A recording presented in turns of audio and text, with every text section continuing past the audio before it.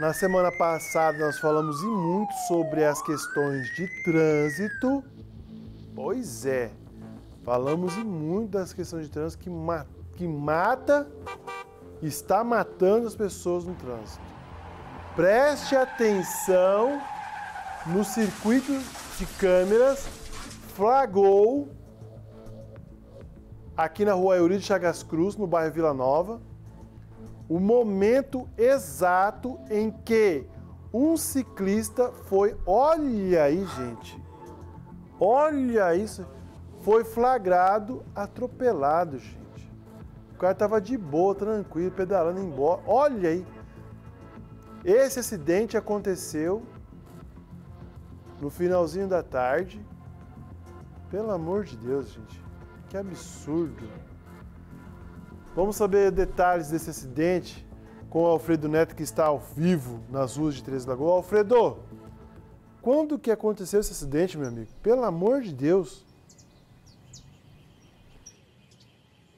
Israel, ainda estou tentando levantar porque assim que eu recebi essas imagens de um seguidor da página do JP News, entrei em contato com a Polícia Militar, com a Polícia Civil, também com o SAMU e o Corpo de Bombeiros para tentar saber a informação desse acidente, já que no registro do sistema de informação da Polícia Civil não existe um boletim de ocorrência registrado, mas até o momento ainda não temos esse boletim registrado. E não pegamos essa informação, mas de acordo com a pessoa que nos repassou esta informação, esse sábado o ciclista estaria no sentido bairro centro, quando infelizmente acabou sendo atropelado por esse veículo, um Celta de cor prata, quatro portas. Motorista que além de atropelar o ciclista, bateu também num veículo Belina que estaria estacionado na lateral da via e fugiu.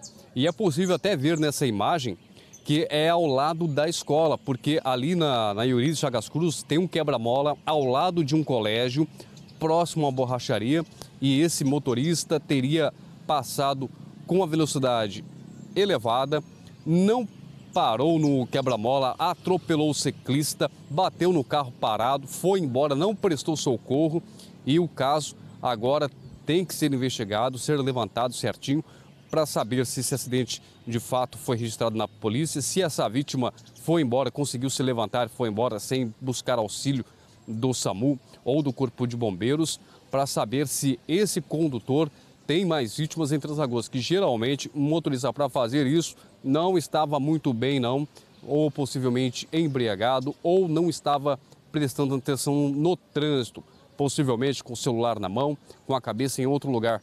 Porque do jeito que aconteceu esse acidente, do jeito que está as imagens, é possível ver que o motorista ia totalmente ali para a calçada. Se o veículo Belina não tivesse estacionado, o carro teria subido na sarjeta e parado na calçada, Israel.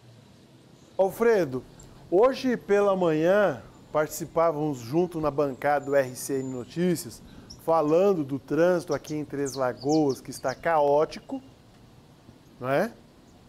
Por conta da falta de atenção das pessoas. Só que nesse caso aqui, meu amigo, nesse caso, o ciclista foi surpreendido com esse motorista.